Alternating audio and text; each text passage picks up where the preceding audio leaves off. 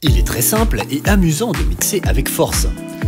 Appuyez sur le bouton du mixeur et l'affichage se met à jour en couleur pour présenter vos pistes. Vous pouvez régler le gain en touchant l'écran et en tapant deux fois pour agrandir et paramétrer.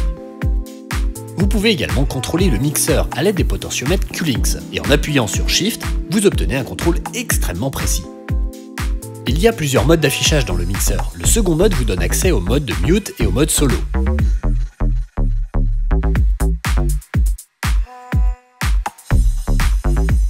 Vais aussi jeter un coup d'œil au panoramique, donc je vais faire un double tap et ça va s'agrandir.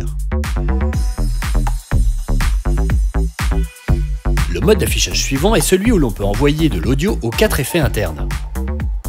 Je vais envoyer une batterie vers l'effet reverb.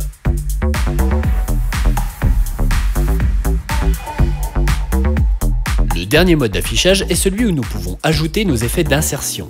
Nous pouvons ajouter 4 effets d'insert à nos pistes. Je vais ajouter un effet de Air Music Technology. Je peux appuyer ici pour jeter un coup d'œil à l'interface utilisateur et éditer tous les paramètres.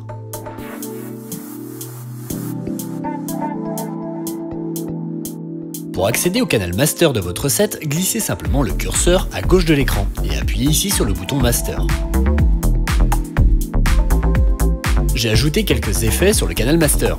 Si j'appuie sur le bouton, je peux sélectionner Project, ce qui mettra à jour les paramètres importants liés à l'écran sur lequel je suis.